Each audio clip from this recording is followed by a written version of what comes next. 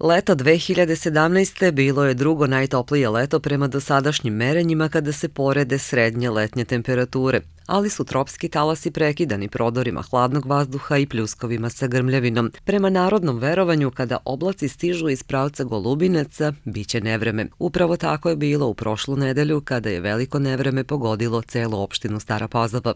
Generalno, cirkulacija atmosfere je od zapada prema istoku, dakle najvećem broju slučajeva vreme dolazi sa zapada s tim da ima situacija, dakle, kada se sa severo-istoka spušta hladan vazduh, ali one su mnogo ređe i uglavnom suve, tako da padavine pre svega dolaze sa jugozapada, zapada, takođe prisustvo vodene površine, odnosno Dunava i isparavanje vode na neki način hrani, odnosno postiče formiranje, naročito kada govorimo o tim olujno-grmljevinskim nepogodama i na taj način to narodno verovanje da na neki način Dunav odvuče je zapravo posledica izvora vlage koji, koji podstiče razvoj u, toj, u tom delu teritorije u odnosu na druge. Poslednji letnji dani više su ličili na jesenje, ali prema prognozi Republičkog hidrometeorološkog zavoda Srbije, pred nama je topla jesen sa dosta sunčanih dana. Sezonska prognoza hidrometeorološkog zavoda za jesen glasi da bi ona bila nešto toplija od proseka sa padavinama negde u granicama višegodišnjeg proseka.